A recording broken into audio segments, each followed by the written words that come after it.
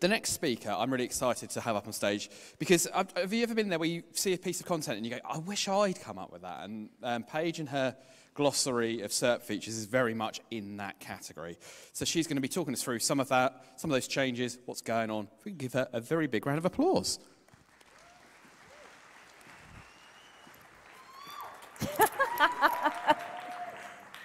Good afternoon, everybody. Thank you for having me. Um, my name is Paige, and I'm here to talk you through. I'm not going to take you through the entire glossary because there's a lot. Um, so I'm going to take you through a few of the really key insights around what we've found and some of the research that we've done. So I'll start off. What is a SERP feature? A SERP feature is anything that isn't your 10 blue links. It can be rich snippets, it can be featured snippets, it can be PAAs, people also ask, it can be anything. And these things change depending on what your query is. So how many are there? The reason I ended up writing a glossary is because I looked to our market leaders, like Moz, and they said there's 16. SEMrush said there were 16. Searchmetrics said there were 17. These guys also said there were 17, but there was a different 17. So that was really interesting. Rank Ranger had 24, so kudos to them. They're really good. They have a few more than this in a blog post, but some of them aren't UK specific or they don't actually exist in the SERPs anymore. Me and my team found 39. It's a lot of SERP features. And a lot of these push our organic listings way down. These have a massive impact on us. So this is the full list. Um, there's a bit.ly link at the top there. If you want the full glossary, that's where you can find it. But some of these have sub-variations. So if you think of a knowledge panel, on desktop, that's on the right-hand side, easy. But on mobile, that then shifts to be at the top. So the tools that we're using, a lot of them couldn't figure out that that was still a knowledge panel, even though it had moved. And you can divide these into rich snippets, so these are the things that enrich your organic listing. So most of you should know what these are. These are star ratings, they're images, they're FAQs. And universal results. We call them blocks for short because universal results is a mouthful. And this is essentially what they are. They're big, colorful, eye-catching blocks that steal our clicks. So I sent my glossary to Kelvin to speak today and he really kindly shared it on Twitter, which is a fun place for a lot of young SEOs. Um, and basically what we found out was that all of the industry leaders also don't have the same terminology for a lot of these things. So some guys are calling something knowledge panels, some guys were calling them explore panels.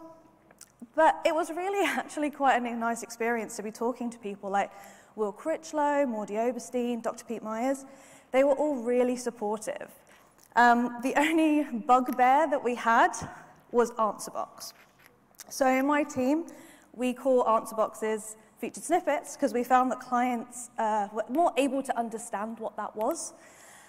But for future reference, they're technically an umbrella term for both featured snippets, which we can optimize for as SEOs, and knowledge cards, which we can't. These are based on the knowledge graph. And why should you care? I stole this from Izzy on Fire on Twitter this week because I think it encapsulates why we need to worry about this. Yes, you got organic position one. Great. But it's below four paid ads, a feature snippet, and a PAA. So how many clicks are you actually getting? And it gets worse. You will have all seen this graph by Rand Fishkin. 50% of organic clicks on zero click. All those searches are zero click. So of the 50% that are good, some of them are still no click, and there's no surprise. I don't have any dogs in my deck, but I preferred Ryan Reynolds, so I hope you enjoy that. I know the girls in the audience do. Um, so I can find out whether he's married very instantly. And, you know, there's things for the guys. So the sports and weather and pronunciations, all really cool things, but you're going to get zero clicks on these terms. This one I really like. This is an advanced knowledge card. Google actually has their own microsite linked to this knowledge card that has all the matches, all the players, news related to this. So I wonder how many clicks the actual Premier League site gets now. It's fair to say this isn't zero click either. So this is that good half of that pie chart. But it's just that Google got all the clicks. We got nothing. And this isn't the only time this happens. There are different types of SERP features that are all this kind of microsite behind them. Google Flights, Google Hotels, Google Jobs, all of them link through to something. So why would the user come to us? We can still be visible here. It's not the end of the world. We just have to pay for it. Or, to be fair, jobs we don't have to pay for yet, technically. We'll see how 2020 goes. And we're making it worse for ourselves.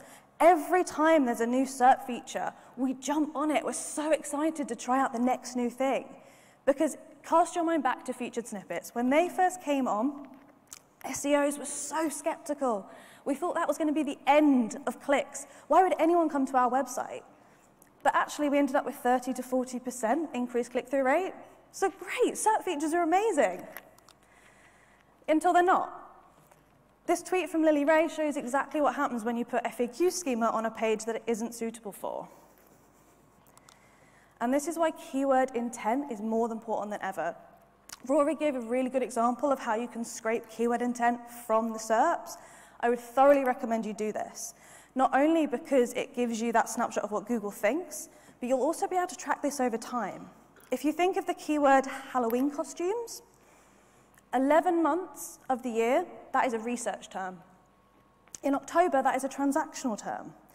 And if this is an industry you work in, you need to be tracking this, and you need to be tracking it over time and how these things change. We ran a test on FAQ schema.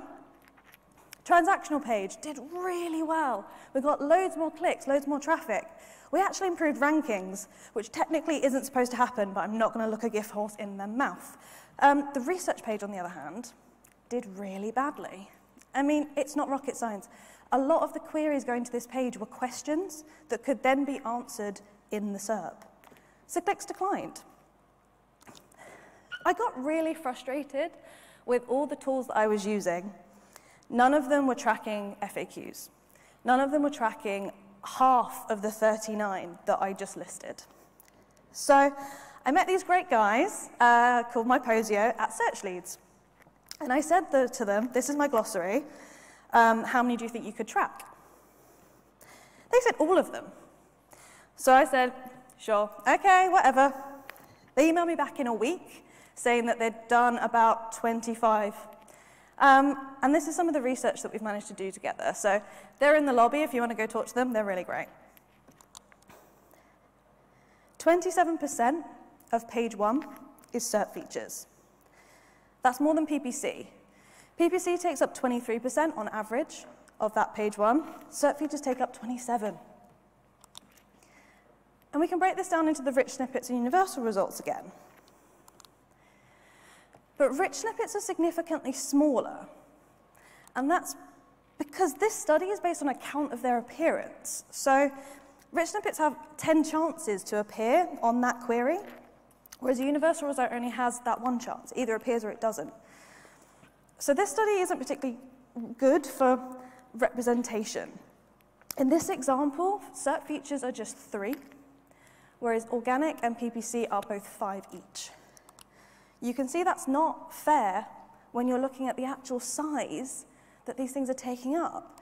We are working with Myposeo right now to attribute both pixel size, position, and weight to all of these things. But it's really hard. These things change size, shape, color, title constantly, depending on what device you're on, depending on what day of the week it is. So they, they're working really well on it and it's coming along. So hopefully that'll be my next talk. But in the meantime, this is what we know. These are the pixels for this example SERP. And this is down to position five. This isn't all, of, this isn't all the way down to 10, mainly because I couldn't fit it on the slide, but I think that's a fair representation anyway. 47% of this example is taken up by SERP features. And that's a PAA that isn't interacted with, because anyone who's played with PAAs knows that they expand the more you play with them. Um, but yeah, 47% of that example, almost half of that page is SERP features. And that's just one SERP. We took over 10,000 keywords, duplicated them across device because these things change a lot depending on what device you're on. And this is what we found. So it's no surprise that the rich snippets, everything with an RS dash, it's no surprise that there's a lot of them because in this count study, they're, they're going to be more prevalent. They have more chances to appear. Despite that, PAAs are still the most common SERP feature in the SERPs right now. So how many out there have a PAA strategy? Of the 21,000 keywords, less than 20% didn't have a PAA. And not all SERPs are created equal. So I have to do a shout out to my sister agency, Rabbit and Pork. They're a voice search agency um, because I stole their keywords. Um, so basically, I can divide these up into 23 different verticals. And it's really interesting to see how things vary. Something like alcohol has a lot of SERP features, a lot of organic listings, and very little PPC activity. We know that as SEOs, there's a lot of opportunity here. We can do a lot of things, whereas homeware, a lot of purple you might just need to hand over a lot more power to the PPC guys and work a bit more with them. And that orange bar, the yellow there, that gets even crazier. The link on the footer there is to the white paper where you can spend a bit more time looking at this very, very insane graph. Um, my designer uh, cried when I said I needed 25 different colors. Um, but you can break these down into the universal results blocks. So you can see which, which verticals are most affected by these space-hugging things and which ones are most affected by the rich snippets. So what's really interesting here is to see that insurance and hotels have jumped on FAQ schema. They're really going for a huge proportion of FAQs here, but the other verticals not so much. There could be an opportunity. These are my five favorites. So a, you can look at everything in the white paper, but these are my top five. The health vertical is a good SEO vertical. There's a lot of PA opportunities, there's a lot of featured snippets, even rich snippet images, all stuff that we can do as SEOs. There's a lot of opportunity here. Insurance, again, star ratings, FAQs, PAAs, really good opportunities for us. If you're an insurer without star ratings, all your competitors are doing it. You need to get on this. Hotels is a really good one because they have a vertical specific SERP feature. They are affected by a SERP feature that is just for them. and the same for restaurants somewhat because they're heavily affected by maps. So if you're not doing local SEO for your restaurant client, you're really missing out. And lastly, property. Property's up there because of that big red box. Knowledge panels and knowledge cards, if they're coming up in your keyword research, you need to be excluding them because they are big red flags of zero-click searches. So why should you care? I took that very, very intense graph and color-coded it. Your green is where we have, as SEOs is quite rare, complete control. We put the code on the page and we decide whether these things exist for our listings. We then kind of decide what is visible within them. The orange, we don't really control whether that is present in the SERP, but we can damn well fight for it. We can go after those PAAs. We can go after those featured snippets. And red, pay for it or walk away. If Google has an owned SERP feature, you are not going to win that away from them. Equally, the hotels and flights features, you're just going to have to pay to be visible there.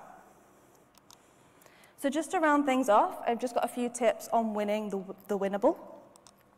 So the jobs vertical, the recruitment vertical, isn't one that we've built out in the keyword research. Unfortunately, I couldn't steal that. Um, so it's one we want to follow up with. And this is kind of what we assume it's going to look like. We know that PAAs are relevant across all verticals, but we also know that Google Jobs is very, very common here. And this is what it looks like. So you get the portal in the SERP, and that will have one brand for that one job. When you go through into the actual microsite, there are a lot of other little brands referenced. It's quite difficult to be that one brand that's in the SERP, but it should be fairly easy to get into the portal itself, into that microsite. You can steal my schema. Um, it's on the white paper, so you can go and steal that. Um, hopefully it works. Tweet me if it doesn't. And FAQs is very similar. FAQs is also schema markup. Um, you can test your code on the Google link there. Um, and if you've already got question and answer schema on your page, um, which you might have done for feature snippet optimization, you can just wrap this in FAQ page, which is really cool. But it does mean that everything you've wrapped will then appear in the SERP. It doesn't cherry pick like feature snippets do. And be really careful what you're putting on there. It is not suitable for everything. The really important thing to note about FAQs is that you might identify a query that isn't suitable and say, we're not going to do FAQs here. If a competitor does it anyway, that's the clicks gone for all of you. So then you have to react to that and do something different. So it's not just a you and no one else. You affect the entire SERP rate on that. There's a, a lot online about optimizing for feature snippets and PAAs, so I'm not going to go into too much depth. But generally, you can optimize for PAAs the same way you would do feature snippets. It's just about tracking them. Tracking them can be very difficult, so you need a tool like Rank Ranger or Myposeo that will do this for you. This really good article is about how volatile they can be and how that can actually be an opportunity for you. And that they can help you leapfrog your competition. In this example, car insurance has a massive PAA right at the top of the SERP. If you open that first box, oh, oopsie, that one. If you open that first box, um, you will have uh, NerdWallet has that first PAA. You don't technically need question and answer schema to get feature snippets at PAAs, but it does seem to help. If you use the Google testing tool, you don't really need to worry about warnings, but you do need to worry about errors. Look towards the formats that Google is preferring. If it's a paragraph, a list, or a table, try and replicate that or improve upon it. If it's a paragraph now but you think a list would be better, give it a go, it might help. Just try and be the better, fresher, sexier answer, essentially. Just a note on looking forward. This was launched at Google I/O not that long ago, and it seems super cool.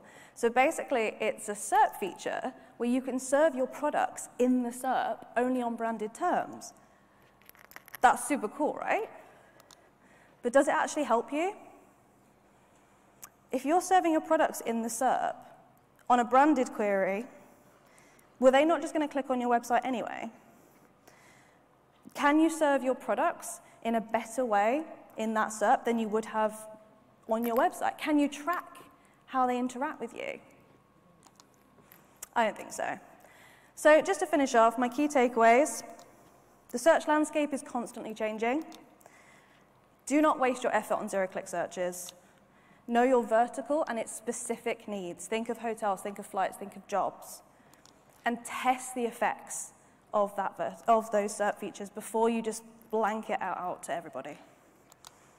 You can find the links uh, to the glossary, the slides, and the white paper there. And thank you for your time.